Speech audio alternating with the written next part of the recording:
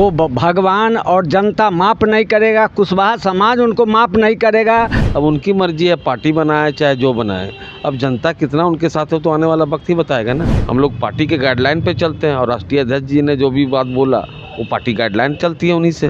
भाजपा को पछाड़ने का काम करेंगे यही मेरा निर्णय है पार्टी का। कहीं से वो हार जाएँगे उनकी सपना कहीं पूरा होने वाला नहीं। नमस्कार मैं हूँ फरत अफसर। आप देख रहे एक न्यूज़ 24 इस वक्त हम जनता दल यूनाइटेड कार्यालय में मौजूद है। आप देख सकते हैं यहाँ पे जो जनता दल यूनाइटेड के जो मेंबर्स है, सदस्य है, मौजूद है। तो चलिए इनसे हम बात करते हैं और जानते हैं कि उपेंद्र कुशवाहा जो नया पार्टी बनाए हैं, क्या इससे कुछ फ़ायदा होने वाला है कि नहीं? इन्हीं लोग से जान लेते हैं। क्या नाम है आपका? मेरा नाम लक्ष्मी नारायण कुशवाहा जी है, राष्ट्रीय परिषद सदस्य हूँ। पार्टी का वरिष्ठ नेता हूँ आध्यात्मिक व्यक्ति हूँ समाज सेवी हूँ। और मैं उपेंद्र भाई से कहना चाहते हैं कि जिन्होंने नीतीश कुमार जो सम्मानित किया, भाई के तरह, एक छोटा भाई के तरह व्यवहार किए और पार्टी में लाने के लिए बात उनको लाया गया, उन्होंने जो हमारे समाज पर जो कीचड़ उछाला है वो भगवान और जनता माफ़ नहीं करेगा, कुशवाहा समाज उनको माफ़ नहीं करेगा। जिनको जो गाड़िमा दे के आगे बढ़ाने का काम किया, वह व्यक्ति समाज ही नहीं, देश के ऐसे व्यक्तियों के हाथ में समांतवादी विचारधारा के व्यक्तियों के हाथ में मान सिंह के रोल अदा किए हैं, वो बिहार की कुशवाहा समाज नहीं, अन्य कोई भी जाति और जमात उन्हें माफ़ नहीं करेगा। और आने वाला भविष्य में वो खुद ही डगरा का बैगन हो जाएँगे। चुनाव ये भी मैं कह रहा हूँ कि जहाँ से वो लोकसभा चुनाव का सपना देख रहे हैं, वो भी उनका सपना अधूरा रह जाएगा। और विधानसभा में कहते हैं कि बीजेपी को मुख्यमंत्री का चेहरा देखना चाहते हैं या बनना चाहते हैं, उनका सपना अधूरा रह जाएगा। ये बिहार की धरती है, ये आध्यात्मिकों का धरती है, ऋषि महर्षियों का बिहार है। ऐसे व्यक्तियों को बिहार की जनता माफ़ नहीं करेगी। आने वाला चुनाव जब लोकसभा भी लड़ेंगे, विधानसभा लड़ेंगे, कहीं से वो हार जाएँगे, उनकी सपना कहीं पूरा होने वाला नहीं है।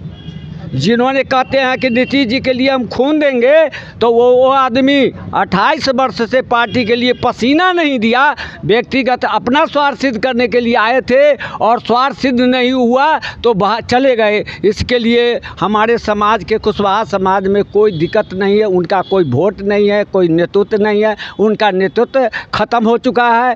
अपना नैतिकता उनके पास है ये नहीं, अगर थोड़ा भी नैतिकता होता तो पार्टी में जो इस तरह से माहौल बन रहा है। हमारी सच्चाई है कहीं गरीबी की बात हो रही है कहीं अमीरी की बात हो रहा है तो नीतीश कुमार गरीब का मसीहा है। इन्होंने जो जाति जनगणना या कोई भी व्यक्ति जो समाजवाद का जो वो तो लगातार बोल रहे थे कि जो जैदू है लगातार कमज़ोर हो रहे हैं लेकिन नीतीश कुमार जो उनसे बात करने के लिए तैयारी नहीं थे। एकदम गलत बोल रहे हैं। मानिए जब ये दिल्ली थे तो नीतीश कुमार जी ने उन्होंने आग्रह किया कि तुम बिहार में आओ और बिहार में हमसे वार्ता क्या समस्या है, हम ना समाधान करेंगे कि वह दिल्ली में पत्रकारिता और बीजेपी के उनके समर्थन में आगे पीछे घूम रहे थे। इनसे पता नहीं लगता है कि उनका क्या मनसा है। सब लोगों को मंशा पता है कि उपेंद्र कुशवाहा का नीति कैसा है। वो पूरे बिहार के जनता एक एक जनता जान गया है। वो आने वाला समय बताएगा कि उपेंद्र कुशवाहा बिहार में क्या बनते हैं क्या उनका लाए थे के क्या खो गया उस समय अच्छा ये बताइए अब तो वो नया पार्टी बना ली है तो क्या इससे जदयू को कोई फ़र्क पड़ेगा कि कोई फ़र्क नहीं पड़ना है उनके पार्टी से कोई ये तो बार बार कई पार्टी बनाए कई बार बनाए हैं उनका तब यही काम है आना जाना पार्टी बनाना उस पार्टी में क्या बनाए क्या बना है सो तब बिहार पहले से भी देख चुके हैं आज क्या देखिएगा उनका अब कोई व्यक्तित्व चरित्र नहीं है और न उनका समाज कुशवाहा समाज उनको और इनकार कर, करने का काम कर रहा है। लेकिन वोट तो बढ़ चुका है ना वो पार्टी से अलग हो गए एकदम तो। एकदम कोई वोट नहीं बगता है व्यक्ति पर वोट मिलता है जाति पर वोट नहीं मिलता है व्यक्तित्व पर मिलता है। नीतीश जी के साथ साथ जो पार्टियाँ हैं फिर भी एकजुट है। और ये सबों का नेता है, सर्वमान्य नेता नीतीश कुमार है। एक विचारधारा का नाम नीतीश कुमार है, एक व्यक्तित्व का नाम नीतीश कुमार है। कपूरी ठाकुर जैसे व्यक्ति अल्प, अल्पसंख्यक के रूप में बिहार में जाने वाला, जब व्यक्तित्व के आधार पर बिहार का चीफ मिनिस्टर हो सकते हैं, जब इनकी लव कुश समीकरण बिल्कुल एकजुट है, कहीं से कोई कसर नहीं है कि उपेंद्र कुशवाहा ज़ीरो पर आउट हो जाएँगे।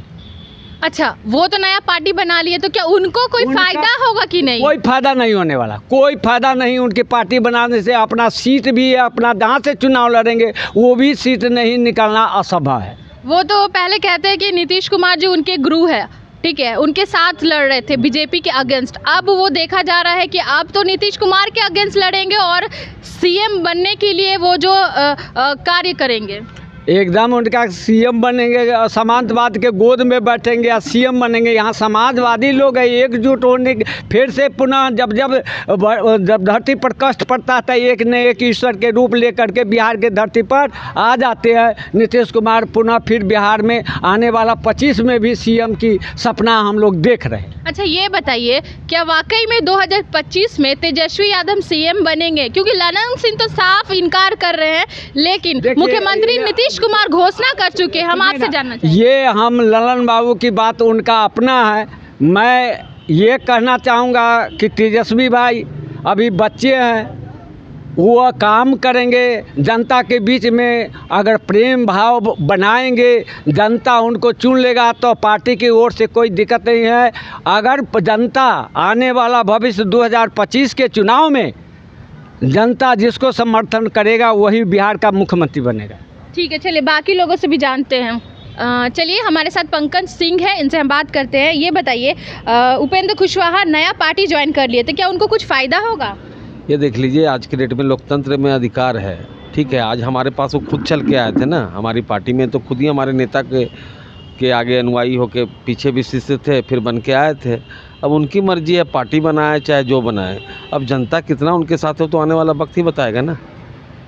अब वो क्या कर रहे हैं नहीं कर रहे हैं सबका अपना अपना लोकतांत्रिक देश हमारा लोकतांत्रिक देश है। कि अपना वो जो भी बनाए अब जो है जनता किनके साथ है वो तो आने वाला वक्त ही बताएगा ना।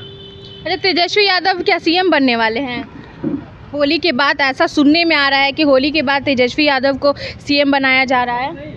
अब तो आप जो बता रही हैं तो हम भी सुन रहे हैं ऐसा तो कोई मामला है नहीं अभी। अभी महागठबंधन की सरकार है बढ़िया तरीके से चल रही है और 25 तारीख को महागठबंधन का कोसी परमंडल में मीटिंग भी होने जा रहा है।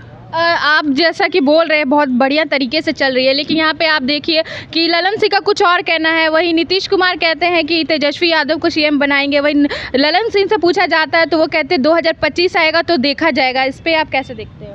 देखना क्या है जो हमारे ललन सिंह हमारे राष्ट्रीय अध्यक्ष हैं आज की डेट में पार्टी का तो पार्टी तो सिस्टम में चलता है ना सिस्टम ही फ़ंक्शन करता है। तो जो राष्ट्रीय अध्यक्ष जी बोल रहे हैं संगठन के अंतर्गत में तो सारा जिम्मेवारी उन्हीं के है।